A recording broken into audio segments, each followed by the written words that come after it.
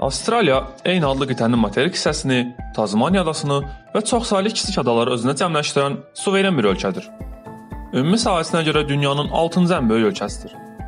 Avstraliyanın paytaxtı cənub-şərqdə daha böyük və əhəmiyyətli iqtisadi və mədəni mərkəzlər Sidney və Melbourne şəhərləri arasında yerləşən Canberra şəhəridir.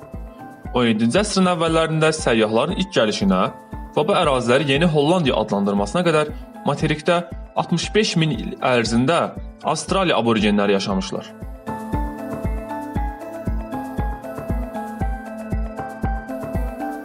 Bu gün Avstraliya əhalisi 270-dən çox etnik qrupdan ibarətdir.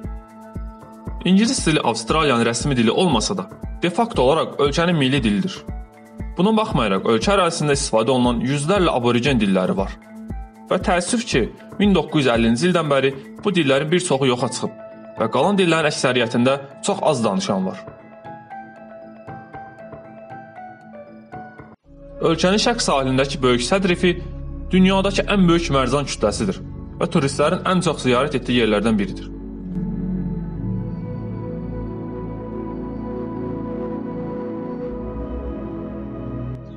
Avstraliyanın böyük bir hissəsi nəhəng boş səhralar və quru cansız düzənliklərdən ibarətdir. Buna görə də bəzi insanlara xoş bir ölkə kimi görünməyə bilər. Ancaq ölkə tanıdıqca özünə valeh edən çox möhtəşəm bir cəzbedici gözəlliyə malikdir. Daimi axan çaylara yalnız şərq və cənub-qərb bölgələrində və Tazmaniyada rast gəlinir.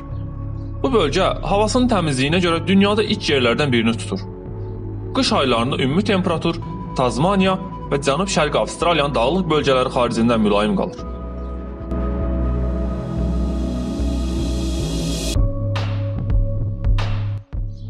Yaz aylarında Avstraliya üçün xarakterik olan isti və quru hava tez-tez meşə yanğınlarına səbəb olur.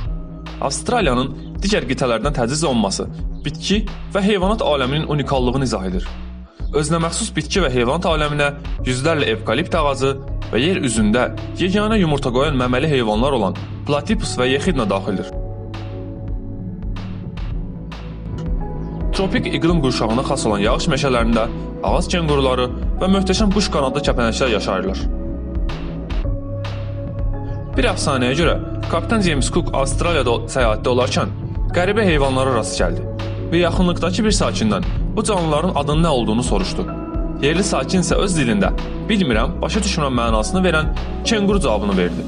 Və kapitan James Cook bunu heyvanın adı olaraq başa düşdü.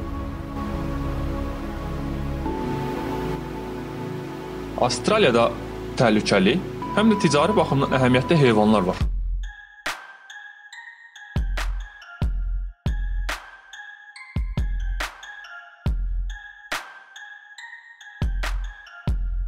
İnsan yeməsi ilə bilinən böyük duzlu su timsahı dünyada ən ölümcül ilan hesab edilən tayfan kimi dəhşətli heyvanlar da bu ölkədə yaşayır. Emu böyük, uça bilməyən, lakin saatda 45 kilometrə qədər sürətlə qaça bilən, yalnız Avstraliyaya endemik quş növüdür. Həm kenqurular, həm də emular geriyə hərəkət etmək qabiliyyətindən məhrumdur.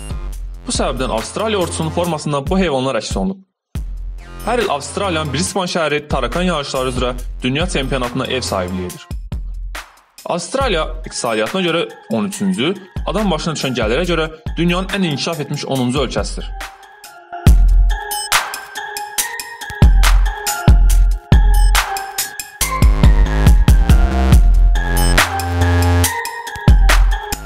Avstraliya uzun müddət zəngin, az məskunlaşılmış, təbii fəlakətlərin çox olduğu, iqtisadiyyatın əsasən kənd təsərrüfatından və xarici investisiyadan asılı olduğu bir ölkə kimi tanınmışdır.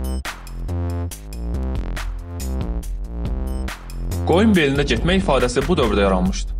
Bu təsvir Avropalıların məskunlaşmasının 1-ci əsrində yun ixracatının hakim olduğu dövrdə olduqca doğru idi. Avstraliya taxıl məhsulları, ət, şəkər, süd məhsulları və meyvə ixracatında mühüm yer tutur. Avstraliyalılar qidalanma, yaşayış və iş şəraitinə görə, həmçinin ümumi həyat səviyyəsinə görə dünyanın geridə qalan hissəsinə nisbətən üstün olan sosial sistem faydalarından yararlanırlar. Avstraliyadakı seçkilərdə iştirak etmək 18 yaşdan yuxarı olan hər kəs üçün məcburidir. Avstraliya mətbəxi beynəlxalq trendlərin, aborigen və immiqrant cəmiyyətlərin mətbəxlərinin qarışığının məhsuludur.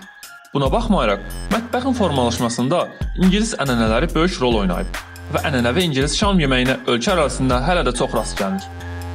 Ənənəvi aborigen yeməkləri kenguru, spağa, ilan balığı, emu kimi qeyri-adi qidalardan ibarətdir. Bu gün İtalyan yeməyi milli kulinariya mədəniyyətinin əhəmiyyətli bir hissəsidir. Pizza və makaron Avstraliyanın ən populyar yeməklərindəndir. Miqrantların adət və ənənələri bu ölkənin cəmiyyəti və mədəniyyətinə də böyük təsir göstərmişdir. İdman bir çox insanların həyatında ayrılmaz rol oynayır və ən çox məskunlaşılan bölgələrin mülayim iqlimi həmişə açıq hava fəaliyyətlərini təşviq edir. Avstraliyada ümumilikdə 10 mindən çox çimərlik var. Yəni hər gün yenisini ziyarət etmək 27 ildən çox vaxt tələb edir.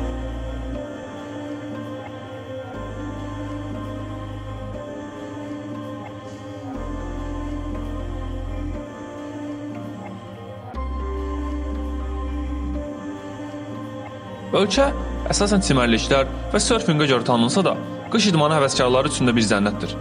Əslində, hər qışda Avstraliya alplərinə bütün İsveçrə ölkəsindən daha çox qar yağır. Tennis, üzgüçülük, golf, basketbol və at yarışları kimi bir sıra idman növləri bütün ölkə ərazisində inkişaf etmişdir. Hətta 2000-ci ildə Sidney şəhərində Olimpiya oyunları keçirilmişdir. Əsas ya idman növü kriketdir. Daxili hissələri əsasən səhralıq olduğu üçün əhalisinin 90%-nin sahildə yaşadığı bu ölkədə 1950-ci illərdə sörfinq məşhurlaşmağa başladı və sürətlə ən populyar idman növlərindən biri kimi inkişaf etdi. Sörfinqin xüsusilə də ölkənin şərq sahili boyunca birdən-birə populyarlaşması rəqabətli sörfinq üçün zəmin hazırladı.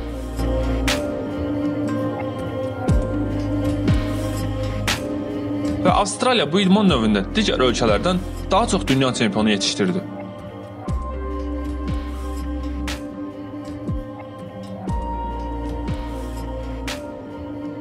Dünyanın bu dilbər güşəsi yalnız gözəl mənzərələri, bənzərsiz vəhşi təbiəti və günəşli çimərlikləri olan ölkə deyil, həm də ən gözəl abidələrdən bəzilərinin evidir.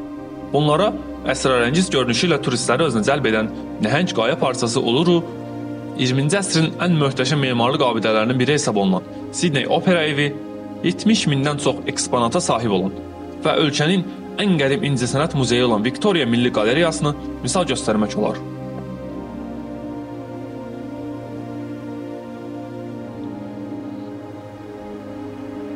Sonda isə bu ölkə barədə bəzi maraqlı faktlardan danışaq. Avstraliya dünyanın ən uzun hasarının yerləşdiyi ölkədir. Əvvəlcə dingo itlərini məhsuldar ərazidən uzaqlaşdırmaq üçün tikilən hasar indi 5614 km uzunluğundadır. Bu ölkə Selvi sözünün doğulduğu yerdir.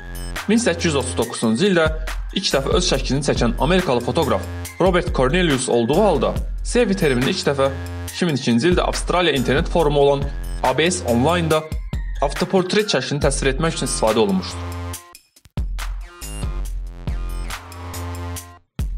Ölkənin ilk polis qüvvəsi özünü ən yaxşı aparan 12 məhkumdan təşkil olunmuşdur. Zəngin təbiəti və heyvanat aləmi, maraqlı adət-ənənələri və insanları ilə yaddaşlarda dərin iz buraxan Avstraliya haqqında bu qədər. Videonu izlədiyiniz üçün təşəkkürlər. Kanala abunə olmağı unutmayın. نوبت جای شاردک